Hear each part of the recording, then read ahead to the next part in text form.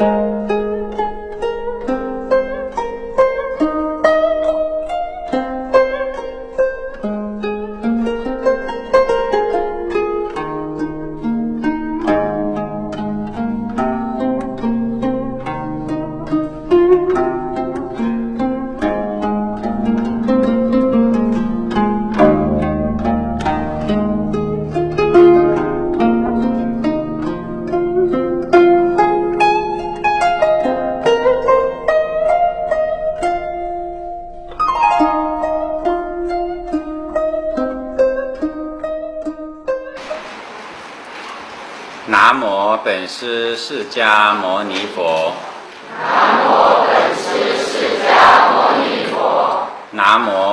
师释迦牟尼佛。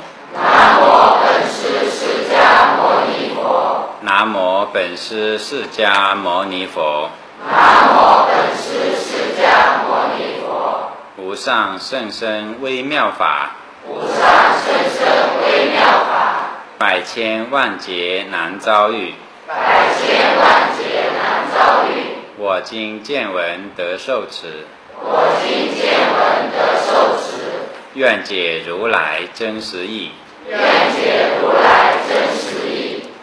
各位同学，上一次我们讲过开悟真心的第一讲，就是心净国土净。今天我们来学习第二讲，就是方便度众生。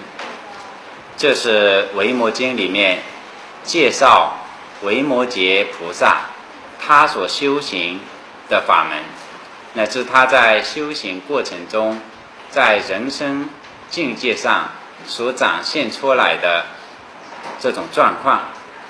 我们看到修行佛法，基本上可以。认识，首先是人天秤，就是先要做一个好人，按照世俗的价值观念，用世俗的眼光看你这个人是不是做好了。当世俗的眼光、世俗的价值标准已经做好了以后，接下来我们需要努力的是要解脱世俗轮回的各种各样的生灭轮回的痛苦。所以在解脱道上，他所成就的各种价值观念，跟世俗的价值观念是截然不同的。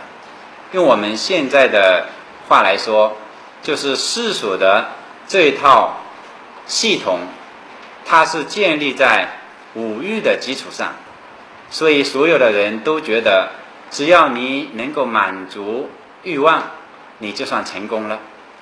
它一直是满足我们的欲望，而欲望呢是越来越强大，所以欲壑难填啊，一直在发展，一直都不能满足。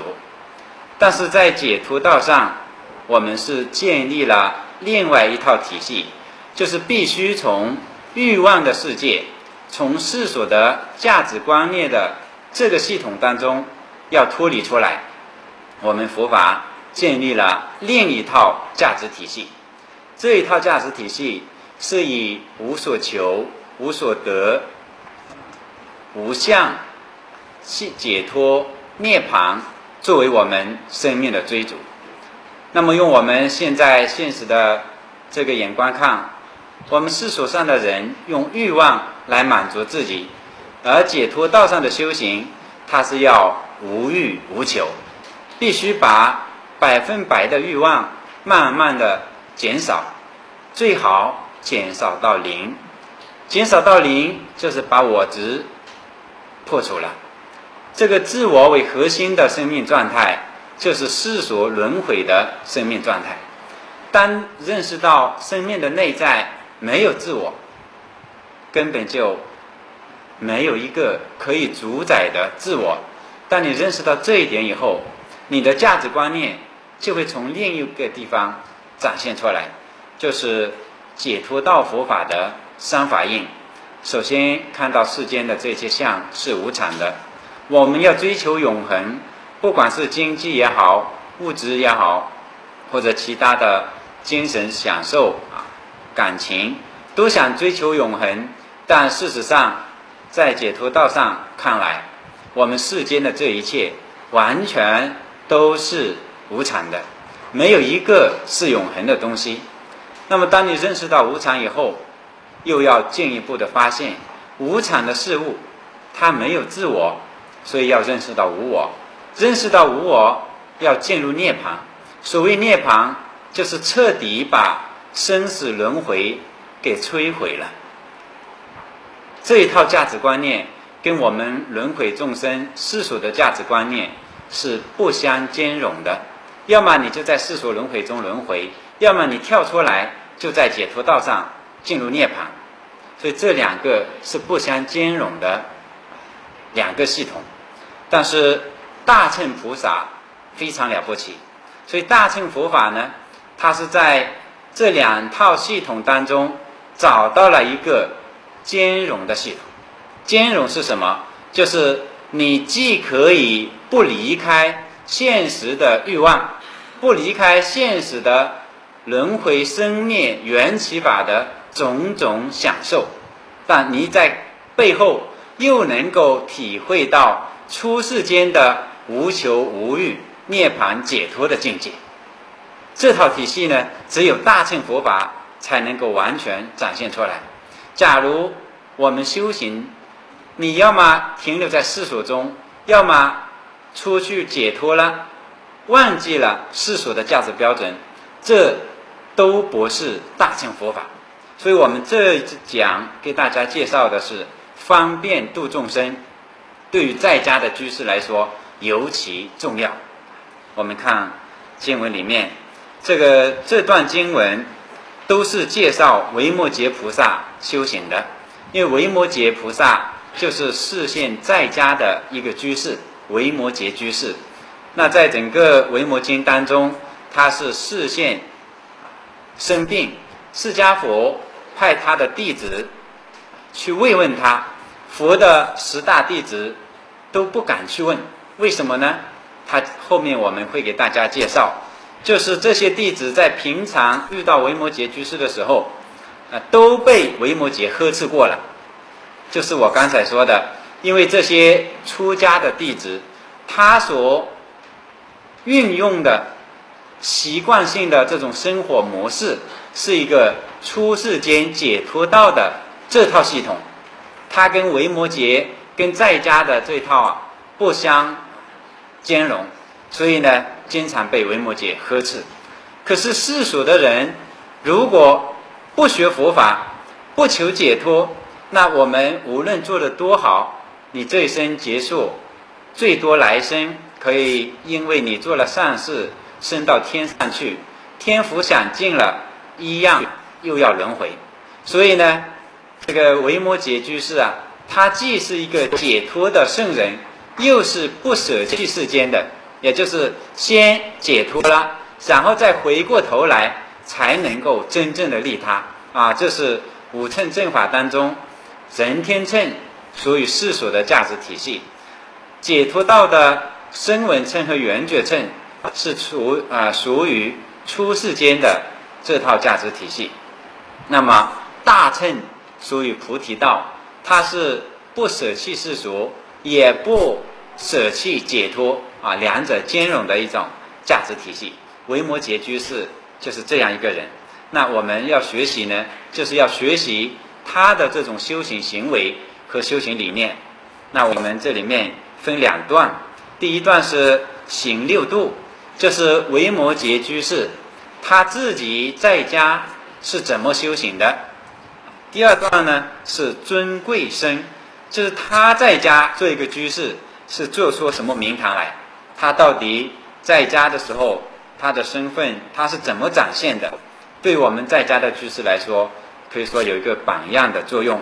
好，我们大家看经文，第一段，行六度，资财无量，摄诸平民，奉戒清净，摄诸毁净，依人调行，摄诸秽怒。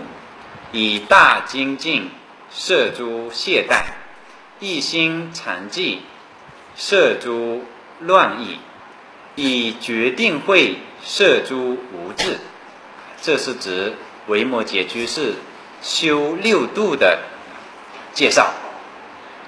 资财无量，摄诸平民，这是告诉我们，维摩诘虽然财富非常多，他在做在家居士，是个大富长者，这非常富有，而且呢，啊，身份非常高贵，品行也受人尊重。那么这样的人，他的财富用来干什么？是用来布施给平民百姓的，是摄诸平民。是修布施六度当中的第一度，那这里面包括两方面的财，一个是世俗物质的财，另外一个是佛法的法财。佛法的法财，这个维摩诘就是也有无量，就是深懂世间出世间法，他懂得怎么做人，怎么做事，怎么修行，怎么解脱，懂得这些方法以后，那么财富。可以以财去布施贫穷的百姓，智慧呢，方法呢，也可以用来布施给没有佛法、不懂的方法的人。那我们大家拥有一门技术，拥有一门学问，都是属于法财，都可以作为布施给平民。我们没有钱财，那如果你的内心也没有智慧，那就两方面都是贫穷的。所以维摩诘可以两方面财法二施，这修布施。第二是奉敬奉戒清净，持戒啊非常清净，是摄诸毁净。这里面也包括两个方面，就是一个是他自身受了菩萨戒，他守的非常清净，就是不会犯戒，不会错误。第二方面呢，他自己。不但自己能够清净，他内心还非常的有智慧。即便是别人犯戒了，别人犯了错误，他也能够想办法使别人变得清净。比如说，在后面有讲过，有一个这个比丘犯错误了，优波里尊者就判他要下地狱多少年多少年。这个比丘听了以后啊，非常的害怕。因为知道自己犯了错误要下地狱了，这个时候维摩诘菩萨跑过来，他跟优波里说：“他说你不要以萤火虫的光去照他们，佛的光明像日月光一样，因为所有的罪性本空。”他说这两个人过去世啊是修了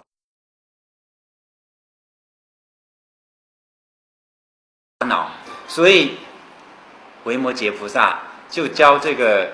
啊，两这两个比丘大乘唱法，就是罪从心起，将心唱；心若灭时，罪已亡。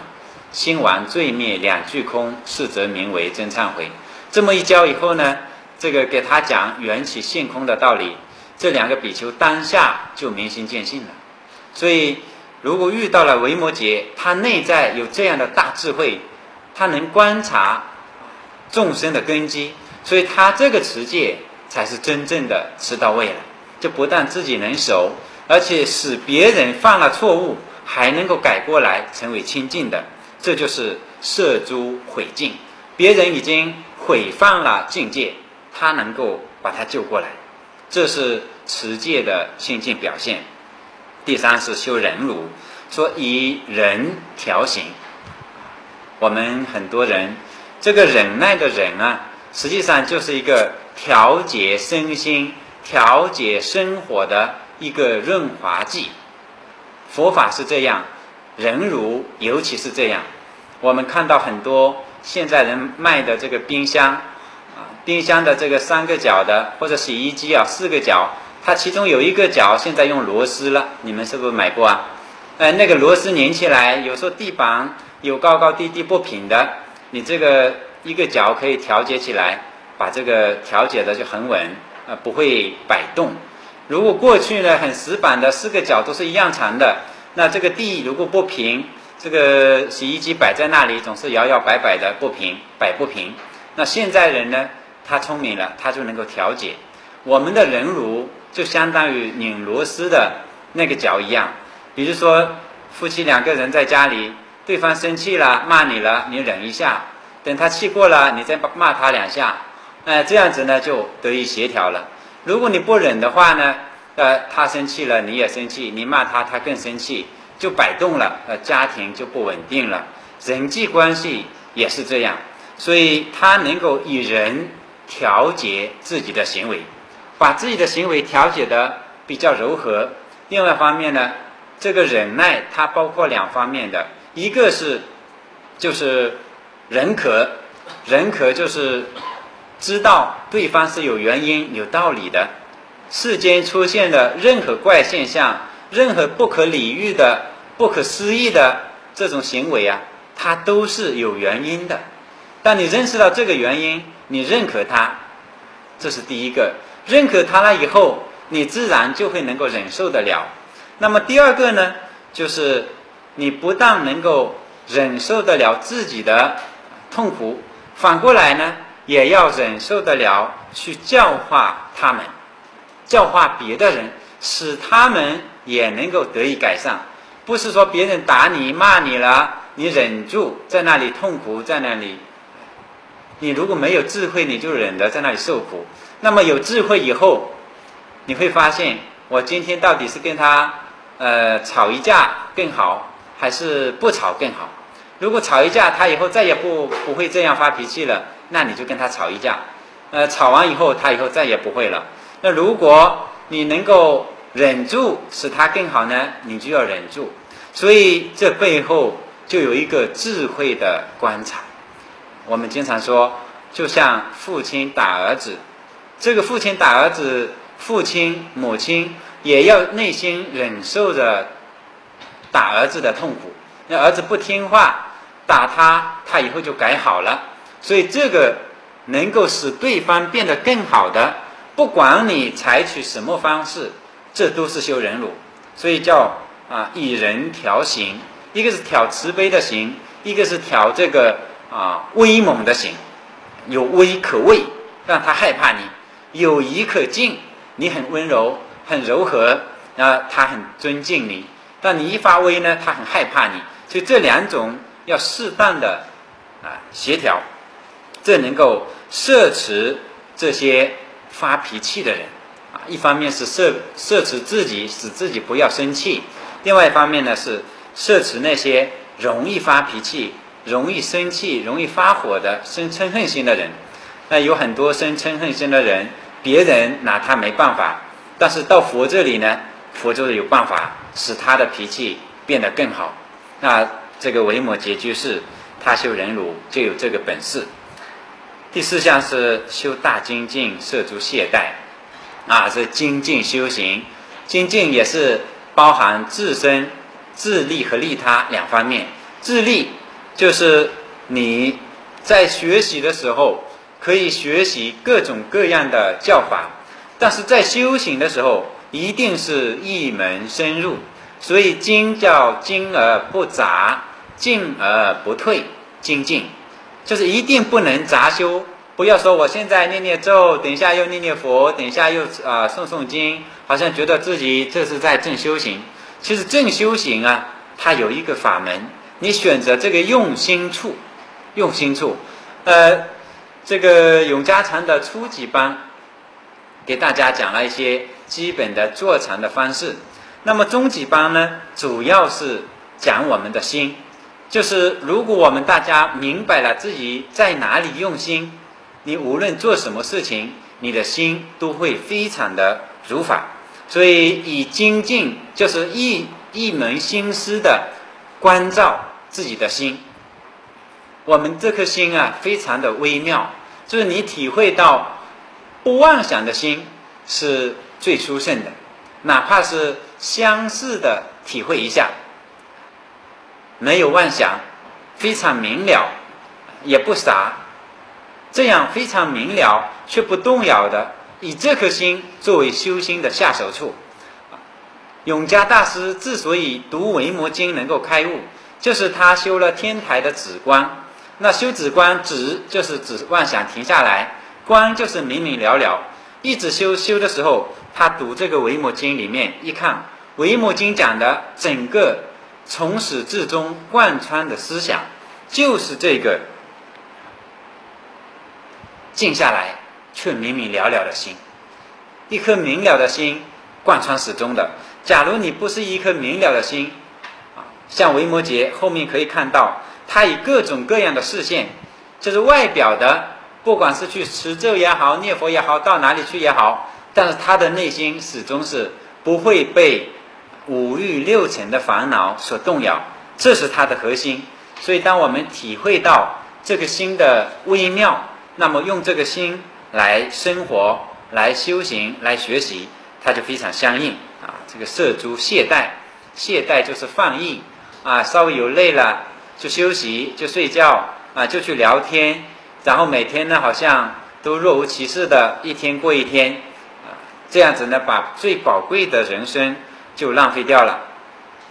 第五是一心禅寂，摄诸乱意，这是他自己这个一心进入了禅定，禅就是止观，就是安静，寂就是寂静，一心是第四禅，就是四禅八定当中的第四禅的境界。那我们前面讲初级班的时候有讲过啊，这个四禅八定的修法，你们也可以再回去看一看。一心是初禅、二禅、三禅、四禅啊，各有各种功德。第四禅表现它的功德的，就是一心，是当你的心专注在一个境上，没有第二个念头，这个时候，他所体会到的是世间的禅法。那出世间的禅法是寂静涅槃，所以维摩诘他修的禅定，只有一颗心，非常寂静的心。那么色诸乱意，不是说你不去想了。他想的非常多，任何事情都可以想，但所有的想的背后都是没有痛苦的，都是很专注的。这个是需要用功的啊！我们大家如果当下的心没有烦恼，你当下清清楚楚的看住自己的心，然后就告诉自己，这个时候你再去想一二三四，或者想一点张三李四，没有关系。他想任何事情。内在的心还是专注的，还是一心的。这就好比这个圆通章里面讲，母亲意念他的子女，你不管在做什么事情，心里面老牵挂的子女，这牵挂的心永远也放不下。呃，吃饭也放不下，睡觉也放不下。但是你吃饭管自己吃饭，睡觉管自己睡觉，每天都在做事情。但是你心里面隐隐约约总有一个东西牵挂着你，这就是心如果有禅定的人，他心始终会专注在禅定上，然后你要想到世间的事情，你照样做，这叫摄诸乱意。虽然乱想，但是呢，跟我们乱想颠倒完全不同，所以能把乱啊摄持住。啊，以决定会摄诸无智，就是。以决定的智慧，什么叫决定的智慧？就是在世间世俗凡夫的智慧，叫做世智变聪。那我们人生几十年，基本上都只能停留在身后死前这几十年的时间当中去思考问题。我们有时候只能停留在看得见、想得到、听得到的这些事物上去思考问题。对于我们看不见的世界，我们好像一点都想不起来。有时候我们会觉得科学的发展，我们也很难想得通。比如说这个手机，现在很多人还是觉得想不通，为什么在那么远，在外国那么远，他讲话我为什么听得很清楚？如果有一根电线，还说声音会从这个线传过来，但他这个手机什么线都没有，他凭什么会听懂的，会听到这个声音的？虽然已经是事实了，大家都有手机，但是你能想得通吗？还是想不通。那么小的声音，为什么隔大洋彼岸那么远，我们还能听到？所以这个世界之大，无奇不有。对世间的知识，我们都很难想通，何况出世间？所以解脱道是释迦佛解脱以后，他把他修行的境界走过的路程。告诉了我们。当我们按照这条路走下去，我们自己会慢慢的体会到，哦，原来世间真是无常的，无常的背后确实是无我的。啊，我们大家如果觉得生活当中还有烦恼，还有痛苦，你观察到无我的时候，你就会发现，那个受苦的人实际上是不存在的。有没有苦啊？就是受苦的那个人，我们觉得肯定是我在受苦，好像有个我。有时候生病了，就是身体在苦；有时候不生病呢，心烦了，好像心在苦。但事实上，心和这个身体都是不能主宰的，都不是真正的自我。所以，我们并不知道那个受苦的人是谁。当你解脱了，你就发现原来是无我的，根本就没有一个受苦的人。那么解脱以后，还有。我们的生命有非常微妙的、非常快乐的境界，那就是大乘菩萨所修的境界。他不但能够得到解脱、无我的自在，还能够回到现实当中，享受世间的一切五欲六尘的快乐。这个时候，他真正能够决定，就是禅宗讲的明心见性。明白你的心是不生不灭的，见到你的本性是不但不生不灭，而且还可以做种种的视线，度种种的众生。你的举手投足都是我们的自信，我们的心性在这里展现它的妙用。就在这个份上，才能够决定你的举手投足不是无缘无故的。我们之所以能生为人，一定有人的业力，有人的条件。那他业力和条件是靠什么为载体来这里受报的？这就靠的是我们本具清净的觉性。所以，对于这个觉性的明了啊，他才能够决定智慧。这个智慧是决定的世间是什么样，出世间是什么样，他非常清楚。这是。这个维摩诘的智慧，所以说有以决定的智慧摄诸无智，自己的无智的这个愚痴啊，已经没有了，而且还能够摄持教化没有智慧的其他的众生。特别是我们大家，如果自己学佛，你开始在心里面相信了佛法，然后每天。以清净的心观察自己的心，观察一段时间以后，你马上会发现你的智慧和定力比原来要高得多。当你这个智慧提高了，定力提高了，你反过来你会发现自己过去曾经是多么的无智，以那颗妄想分别的心，以凡夫之心测圣人之腹，到处去猜测别人、怀疑别人，对自己的内心也毫无了知。那你慢慢的静下来，你就发现自己内心有多少的妄想，多少的颠倒，就会被摄持住。所以这个六度啊，是整个大乘菩萨所修行的核心的内容。那维摩诘呢，他完全做到了。他做到了这六度以后，你看看他的兼容的程序就开始启动了。它怎么启动呢？大家看下面的经文。虽为白衣，奉持沙门清净律行；虽处居家，不足三界；世有妻子，常修放恨；现有眷属，常乐远离；虽服宝饰，而以相好延伸；虽复饮食，而以长乐为味。若至博弈细处，则以度人；受诸异道，不回正性。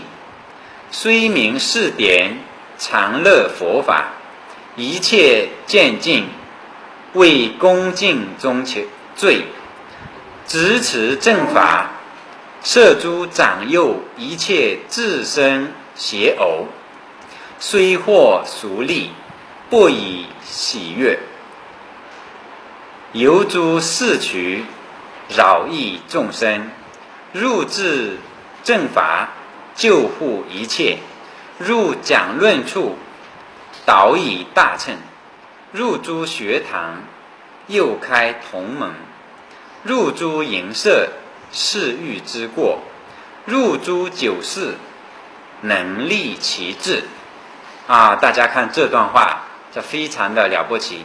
可以说，在家的生活，无论是啊当官啊，这个有福报，或者有妻儿子女啊，还是以这个赌博啊、淫女啊、酒肆，就是酒徒、赌徒啊，这些社会上五花八门、呃各种各样的世俗上的生活，凡夫颠倒的生活，他照样去体会。但是在体会的过程中呢？他却能够起到世俗凡夫完全起不到的这种作用，所以当他这个启动一旦啊，这个程序啊一旦启动了，就非常的了不起。我们看，虽为白衣啊，奉持沙门清净律行，就虽然他视线的是在家的居士，在家居士叫白衣，出家人叫织衣，织衣就是黑色的衣服。过去有一个。这个出家人啊，这个呃做宰相，人们称为织衣宰相。那我们在家居士呢，就叫白衣。白衣说法，这佛讲末法时代是白衣说法。那在家居士也有讲法的。那么沙门呢，是指出家人，所以他虽然是在家居士，但是呢，他能够奉行出家人的清净的戒律。那虽然他居家，却不着三戒。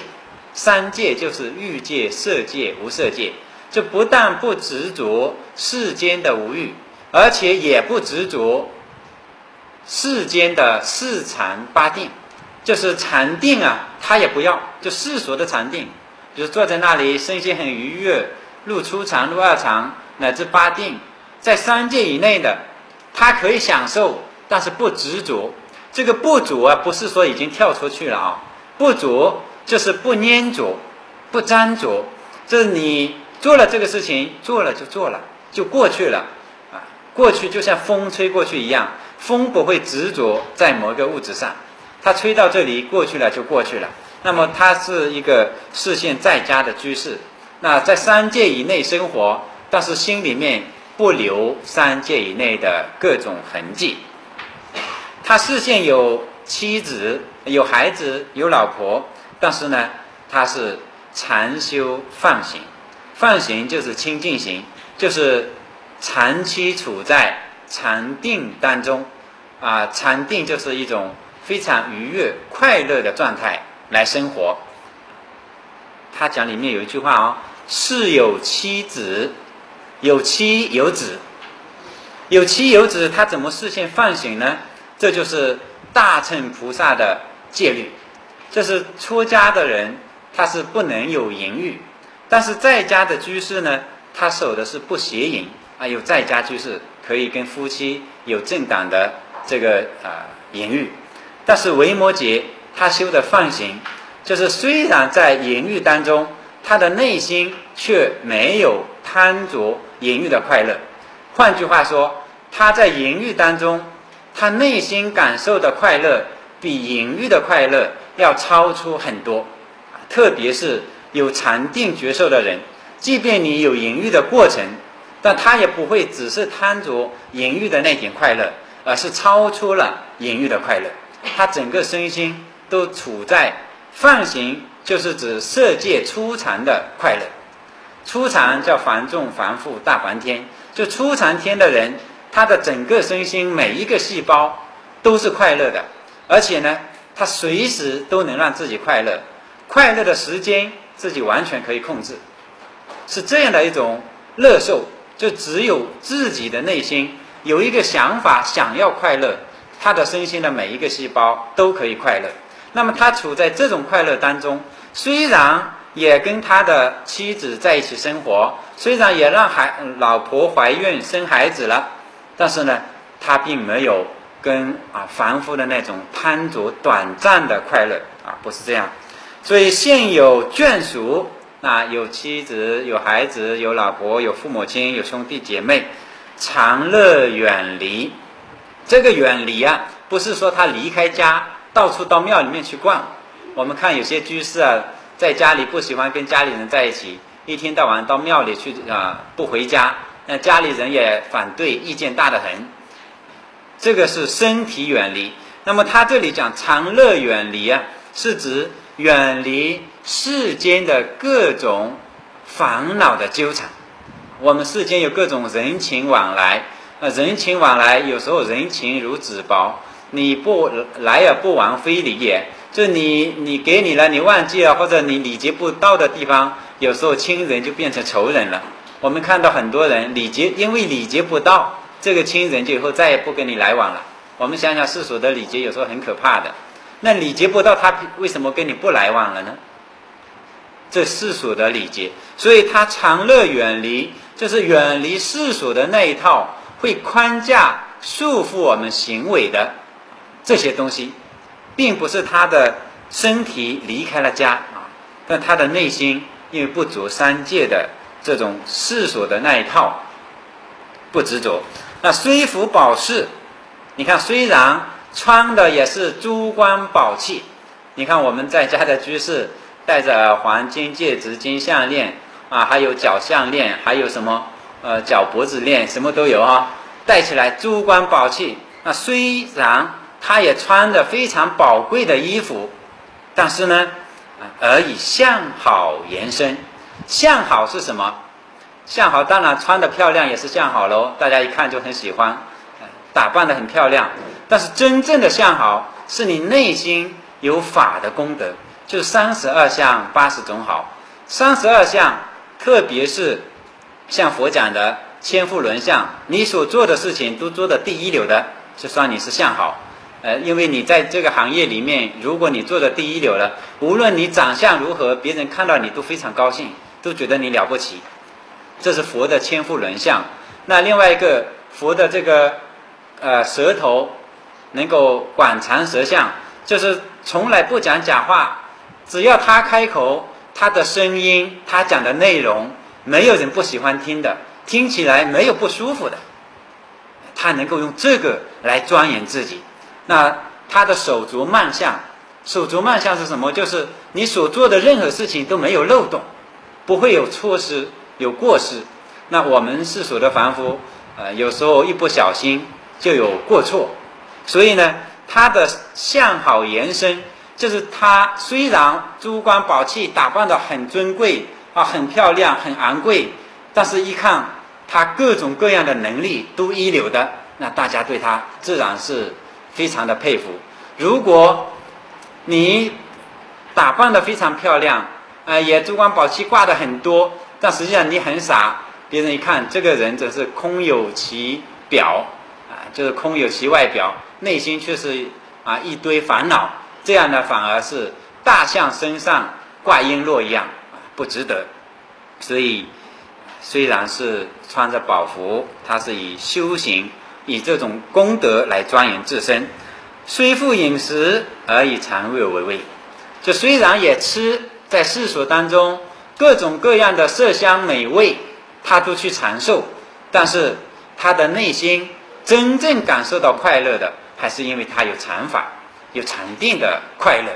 就是我说了，当他的念头如果升起来，他只要把自己处在禅定当中，他全身的每一个细胞都可以是快乐的。我们想一想，你吃什么东西能吃出全身的细胞都快乐起来呢？最多就是舌头上的细胞快乐一点，可能别的细胞可能不一定觉得快乐。有时候太好吃了，撑了肚子还不舒服，可能。虽然也吃，虽然也穿，但是呢，他是内心可以安住在禅定的觉受里面。所以诸位啊，如果你觉得佛法很好，呃，就不要想说，哎呀，如果出家真好了。你看出家人都能够好好修行，维摩诘他都是在家修行的。也就是说，你心里面有没有法，跟外表的衣服，跟你剃不剃光头，其实没有必然的联系。那我们只是看到。像我们福报不够，在家里可能每天都要奔忙，为为为了自己养家，为了自己吃的，为了自己穿的，可能没有时间修行，所以我们就躲到寺庙里面来就出家了。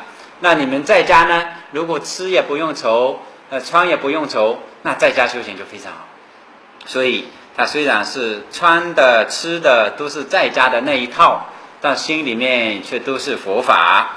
更严重的问题是什么？就是他到了博，就是赌博；艺就是下棋；戏就是玩游戏，啊，就是看戏热闹的地方，就去赌博、去玩游戏，哎，去这个下棋。到这样地方呢，则以渡人，他还能够去这些地方去渡人，渡什么人呢？就渡那些赌博的人。他一赌博，把人家的钱都给能赢过来，都不会输。那赢过来以后呢，他就告诉嗯，那别人钱都输了，有些人输的不行了，就要自杀了。他说你不要自杀了，我把钱给你，你只要学佛就行了，以后不要赌。那人家又把钱拿过去，以后再也不赌了。他是这样子去赌博的。你们不要想学维摩经居士啊，然后一去去赌博了，结果把钱输光了。哎，他是赌博能够把钱赚回来，然后呢，再告诉他们怎么去这个呃学习佛法，不要赌博。所以他是以渡人为目的的，有这个能力。受诸异道不回正性，异道就是佛法之外的外道，那他也去接受，也受外道。比如说去学其他的宗教，也去学习，在学的过程中，他知道自己是有佛法的正性。那么学习来以后，任何世间的法都可以帮助我们。度众生，特别是有些宗教也流传几千年，他们也有很很多啊，特别是布教方面有很多的优势，有很多的理念，它可以。这个魔王来了，想找他算账了，结果呢，这个维摩诘居士就给魔王说：“魔王，你过来吧，你坐下来，你既然来了，你就要要要听我讲话。”他他说好好，我听你讲。哎，你要怎么怎么就教他佛法，给他教一通，教的这个魔王头痛起来，说你别说了，我不想听，不想听，你下次还敢来吗？哎，魔王不敢来了。你看他遇到这些事情啊，人任何事情他都能够以佛法去对待，所以受诸异道也能够不毁坏他自己的正性。虽名四典呢是常乐佛法啊，四典就世俗的这个典籍。世间法的书籍，有些人才学两天佛法，看世间法就觉得，嗯，淡然无味。哎呀，看了佛经以后，看世间法的书，我真看不进去，没有意思。你看，都是教别人怎么赚钱，哎，怎么去玩，在哪个地方好玩，啊，看这些有什么意思啊？实际上呢，他能够说得出来。能够流通出来的，其实自有它的道理。那我们如果学习了以后，就最起码你明白世俗凡夫是怎么想的，那你对于佛法的帮助、弘扬佛法，那就很非常好。所以这个维摩诘啊，他明白世间的典籍，就世出世间法没有不精通的。明白了以后呢，他倒是常乐佛法啊，非常乐意佛法的这个受用。这个南怀瑾先生，他也是非常好要佛法，是我们温州人。他确实有点跟维摩经啊讲的这个维摩诘有点像。那他也抽烟抽的很厉害，啊，世间的有很多这个世俗的习气，他也一样有。但是呢，他不停的告诉大家，哎，佛法是最好的，佛法是非常圆满的。那他曾经给他的师傅出一套丛书，就叫做《维摩丛书》。啊，就叫维摩丛书，他自己有一方印印章，叫金树如来。呃，金树如来是什么？就是维摩诘的这个过去生。所以维摩诘虽然是居士啊，他实际上是古佛再来，啊，是金树如来再来的。所以这个南怀瑾先生可能又预示着自己就是维摩诘，可能。所以你们不要错过这个机会啊！万一维摩诘菩萨他在这世间视现时间也不是很多的，呃，视现了我们碰到了。你要是错过了，不是可惜了？能够遇到这个永嘉大师，古人称永嘉大师也是古佛再来。那这个呃，南怀瑾先生如果再是古佛的话，我们温州就古佛很多了。嗯，好，一切见尽啊，为恭敬中罪，就是他看到一切众生见到一切众生都能够非常的尊重，这一点非常难。我们有看到有时候有些居士啊，对师傅很恭敬，但是对他家里人就没那么恭敬了。呃，对外面的那些这个手下的员工啊，或者是呃这个要饭的人啊。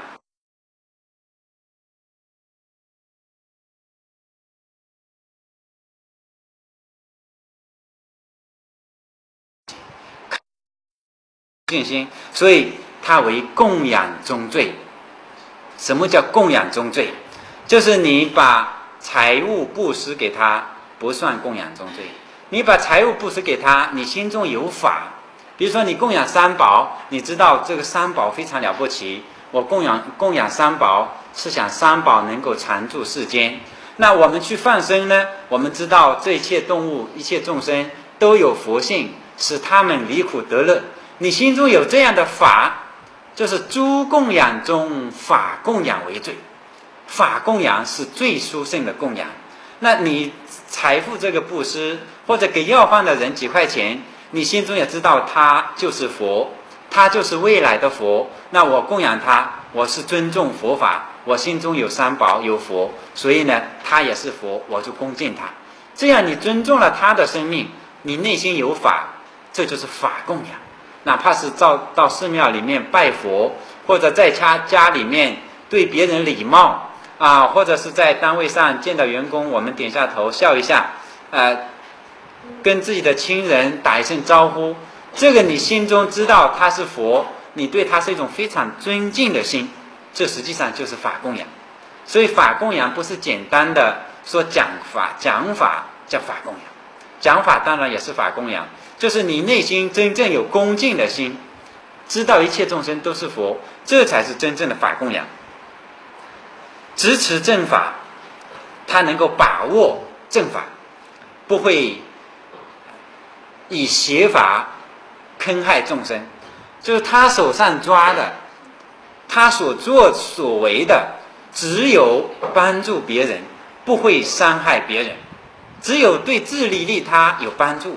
不会对自己他人有伤害，这样的这个正法，他抓在手上了，所以他执持正法呢，能够摄诸长幼一切自身邪偶，就长就比他大的，幼就比他小的，自身就是使我们养活自己身家性命的一切关系，特别是做生意的人，维摩诘是做生意的，他是一个商人，赚了很多的钱。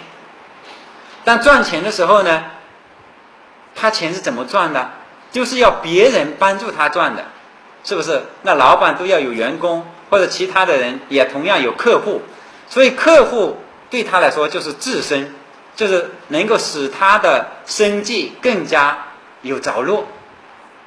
邪偶就是邪就是和谐，偶就是啊，我们呃我们看现在讲的这个配偶就是配合的意思。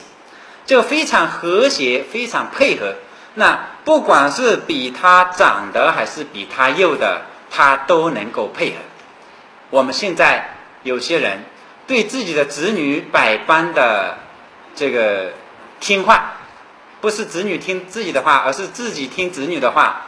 呃，孩子要汽要汽车给他买汽车，要玩具买玩具，要什么东西给他买什么东西，要高贵的鞋给他买高贵的鞋。父母亲要什么呢？他总是推三阻四的。哦，我现在忙啊，你再等等啊。父母亲不好意思哭啊，坐在地上。他儿子呢，你要不买，他马上坐在地上就哭起来了。所以孩子要买要的东西，第一时间赶到。呃，这个父母亲想要的是最后的时间才留下来给他。所以有句有一首歌唱，常回家看看，就看我们这些人。所以他能够做到长幼对长对幼。都能恰到好处的给他协调配合，这个配合是对自他都有利的。虽获俗利，不以喜悦。虽然能获得世俗的利益，世俗的利益，比如说升官啦、呃发财啦、名位地域高啦，这些他不会觉得喜悦，因为真正的身心安详。才是真正的喜悦，就是你内心中有正法，有正念。你的这一期的生命对自己有意义，对别人也有意义，甚至是对啊这个世界，对将来不管什么时候的众生都有意义。这样的身心才是最健康、最快乐的啊，最愉悦的。他不会以世俗的利益、五欲作为快乐，游诸市曲，饶益众生。那有时候经常到大街上去逛一逛，曲就是街道，市渠就是到处游逛。那我们在家有些居士，这个很喜欢去逛商场哈。你们逛商场是不是饶益众生？可能也是饶益众生。现在钱多了，赶紧去买一点东西，那个店里面就高兴了。你到他那里买东西，哎，给他就带来利益了。真正能够饶益的是，就是不但能够帮助他们，而且能够让他们看到，哎，做人可以这样做也不错。哎，就是在家的居士。却能够那么洒脱，洒脱当中又能赚钱，赚钱了以后还能够孝顺，孝顺了以后自己心里面还不执着，哎呀，太好了。所以呢，他看到这个人呢，你就会起教化作用，所以是饶益众生，入智正法，救护一切，就是他能够做行政的官员。啊，维摩诘也是一个当时啊皮耶离城的一个这个城主的顾问。就城主相当于现在的一个啊一个一个一个自治区的区长一样，啊行政长官行政长官一样。那么他呢可以做顾问，所以入诸政法，就是去顾问政治，不是说哎呦我们修行人啊不要去问政治了，那里面怎么样怎么样？不是，他可以进去问。那顾问政治呢，他是救护一切，啊依他的身份和地位，能够帮助更多的众生。入讲论处，啊，哪个地方有讲讲佛法、讲世间法，有论坛，像有这个百家讲堂。那有些你看，像这个复旦大学的呃钱钱维忠教授是吧？他就去这个呃百家论坛就讲这个玄奘西行啊，唐唐僧西游记。他讲这个大唐西域记啊，那讲的过程中，大家对于唐僧唐玄奘就非常的恭敬。就升起觉得稀有难得的心，所以这个维摩诘呢，他口才也好，也到处到处看别人到到底讲些什么。那么去讲了以后呢，他也去讲讲话，讲话总是导以大成。就世间法给你讲讲的正高兴了以后，就告诉你你要发菩提心，发起菩提心才是真正的好处，是导以大成。那入诸学堂，学堂是指啊这个学校。就是小孩子还没有成年的、没有工作的人，这种地方呢，又开同盟。就小孩子知识慢慢的培养起来，他的智慧还没有打开，还是朦朦胧胧的啊，蒙蔽的，智慧没有打开的这样的人，叫同盟啊，小孩子，那他能够使别人开发智慧，使小孩子、年轻的人开发智慧。我不知道你们学佛有没有这种感觉？那我们在学佛之前，没有得到佛法受用之前啊，总是停留在世俗的那套思维模式当中。那当你有一天如果打坐用功，突然你发现内心的清净、内心的安详比什么都重要，你就不会去执着什么生活当中遇到的人啊、事啊、生活的境遇如何了。当你发现这个最重要的时候，你自己的智慧就开窍了。所以同这个开，呃，又开同盟，又就是呃引导，引导他们啊，能够开发他们，开启他们的智慧。入诸营舍呢，是欲之过，就是到妓女店里面去，他也是照样去。去了以后呢，就告诉他们这个淫欲的过患，淫欲会给人带来怎么样怎么样的不好，身体垮掉了。特别像现在有些人得艾滋病，都是通过这些不良的。渠道获得的，那么这样呢？维摩诘就是到那些地方去，他就告诉这些人啊，有这样的过错。像这个呃《华严经》里面，婆须蜜女也是一样啊，她也是视线这个妓女，但是别人只要见到她，就非常的高兴；只要碰到她，淫欲的心马上就没有掉了，因为她长得太漂亮了，非常清净，非常漂亮，是一个菩萨视线的。所以，任何人只要碰到她，马上就没有淫欲心，以后再也不找妓女了。所以这样子呢，他用这个方式来呃引导社会，使社会的风气变得更好。那这是一种菩萨的视线。呃，入住酒肆，酒肆是专门喝酒的地方，那些呃酒徒和呃醉鬼，那到这些地方去，天天在那里鬼混的。那么喝酒一旦喝多了，成为酒鬼以后，酒精中毒以后啊，那他的这一生所有的意志啊，全部会丧失殆尽。这喝酒太多的人，他的意志力会非常薄弱。那维摩诘呢，到这种地方去，就能够使这些酒鬼、醉鬼啊，都能够建立起新的啊志气。所以这种力量啊是非常强的。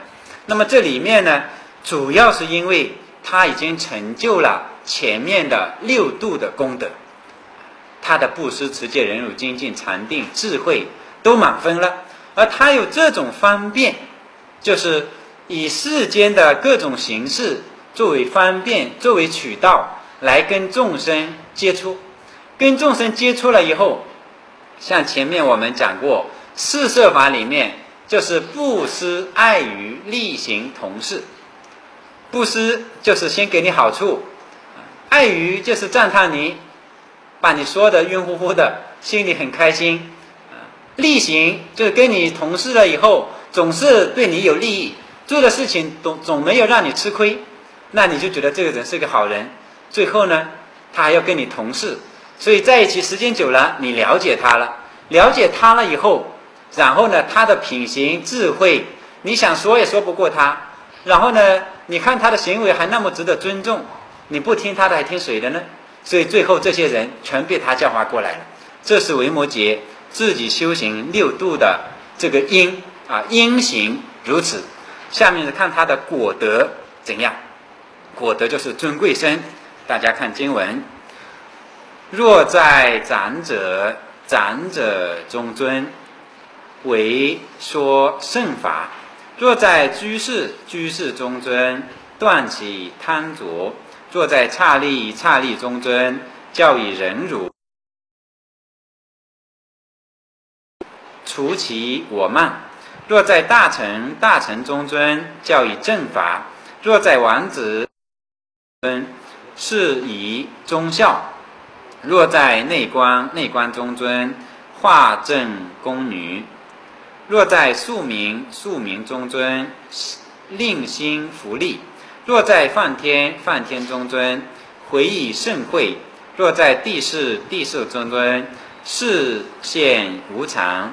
若在护世护世中尊护诸众生，长者为摩诘，无量方便饶益众生啊！这叫他的尊贵身，他的整个这一生的身体啊，生命啊，是无论在什么环境当中都能显出尊贵来。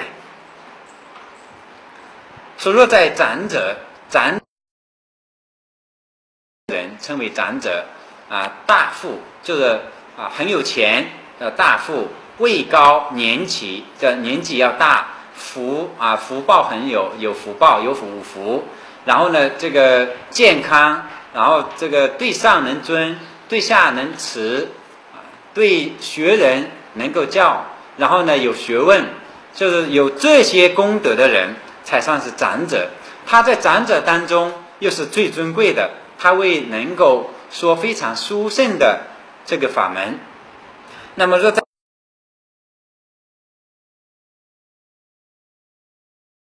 居士是在家的居士，在家居士一方面呢，他会贪着五欲之乐，放不下啊。你们都是在家居士多，是不是放下了？呃，维摩诘能够使他们把世俗的五欲放下。另外一个呢，有些居士他世俗的欲望放下了。但他对善法的欲望还是放不下，还是会执着到庙里去执着怎么样修行，怎么样打坐。那他呢也能够断除对这些的执着，所以非常自在。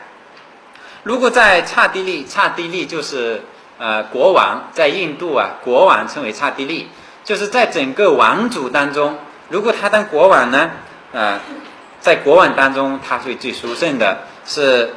教以忍辱，就是在位置高的时候，你要能够忍受得了别人对你的，比如说各种呃谏言、献策，人家直言不讳，你也要忍受得了；人家无理取闹，你也要忍受得了。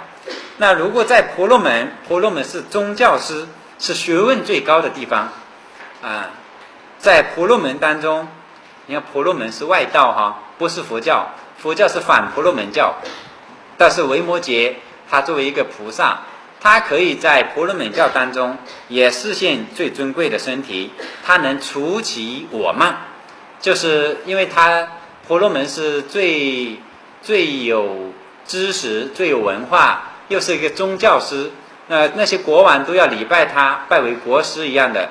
那么那些人呢，他自然我慢会很容易升起来。所以维摩诘呢，能够除啊这些人的我慢。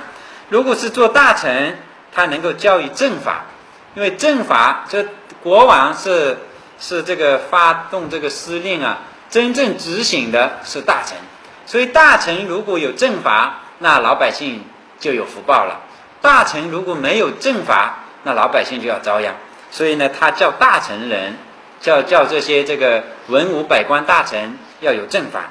那如果在王子呢，啊，王子他能叫他这个忠孝，忠就是忠于国家，啊，孝就是孝于这个俗家，就是孝于自己的父母啊长辈。然后呢，对于国家、对于父母都要同样的孝啊，同样的忠。如果在内官，内官就是内宫里面的官员，呃，假如他当太监，他在太监当中也是最尊贵的，他会能够使这些宫女都得到教化。那如果在庶民，就是老百姓，在老百姓当中也是最尊贵的，他能够领导老百姓兴办福利，福利就是创造老百姓的幸福，呃，培养老百姓的能力。那我们自己，大家如果位置在低的时候，我们就充实自己的能力，也使我们身边的人好好学习，培养各种各样的实践能力啊。然后呢，自己创造自己幸福的家园。这个维摩诘如果在家居士啊，在一个平民百姓当中，他能够引导别人做这些事情。所以每个人在他的位置要想到，在在其位啊，谋其政。那这是在世间世俗法当中的几样，不但在世间人道，而且在天道呢，他也很厉害。说在梵天，就是色界的初禅天当中，他在梵天中最回以盛会。就梵天是以禅定，以定为他的这个生活的内容，而维摩诘到这里呢，会告诉他们，光有禅定。光感受到身心快乐是不够的，你还要更殊胜的智慧来了生死。所以说，会教诲他们要有智慧。那如果在第四天呢？第四天就是欲界的第二层天的，就是刀立天的天王。我们中国人喜欢讲的玉皇大帝。那如果在玉皇大帝当中，他也在玉皇大帝里面，也会受到尊重。那么也能够告诉他们，这世间是无常的。因为玉皇大帝啊，他非常享受，特别是上法堂啊，每时一天，呃，早中晚三时享乐，不停，每天如此，所以一直到五衰相现前了，他才知道后悔来不及了。平常呢都不知道修行，那么维摩诘到这里都能够教化他们。若在护世，就是呃，护世就是四天王天，叫护世四王，四天王天是保护我们。人世间能够太平的，特别是北方的多闻天王叫毗沙门天王。那我们的这个六斋日和十斋日啊，这个毗沙门天王都来视人间视察，看我们有什么诉求，有什么需要办的事情，有什么业务，他就把你带过去办理了。所以我们在六斋日，如果求佛菩萨保佑，特别是求这个护世四王。啊，求毗沙门天王保佑啊，就很容易有感应。啊，这是在天道当中，他也是一个非常了不起的尊贵身。好，我们看到前面是行六度是因，尊贵身是果，他能够做到在任何中都能够实现最尊贵的身体，而且完全是一个在家的身份，那跟他内在的禅定的心是分不开的。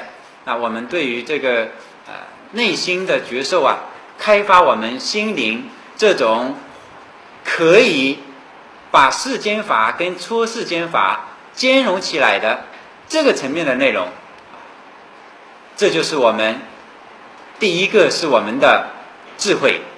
我们需要有一颗出离的心，开发自己的智慧，随时让自己的头脑保持清醒，不要迷失。这样呢，你的智慧会越来越高。另外一个呢，你必须要有一颗慈悲的心。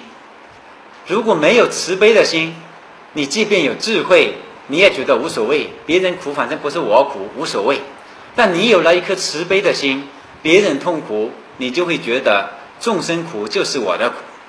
那才能够达到，再回到世间来，出世间的智慧有了，不会被世俗的烦恼所捆住，然后慈悲心的能力有了，他又不舍弃世间的这一切。你的财富越多越好，因为你慈悲心很重，你财富越多，你就帮助越多的人，你的地位也越高越好，地位越高，你也可以救更多的人，所以。以智慧和慈悲作为核心，能够引发我们方便度众生的能力。好，这一讲就讲到这里。阿弥陀佛。愿以此功德，愿以此功德，庄严佛净土，庄严佛净土，上报四重恩，上报四重恩，下济三途苦，下济三途苦。若有见闻者，若有见闻者，悉发菩提心，悉发菩提心，尽此一报身，尽此一报身，同生极乐国。同生极乐国。阿弥陀佛。阿弥陀佛。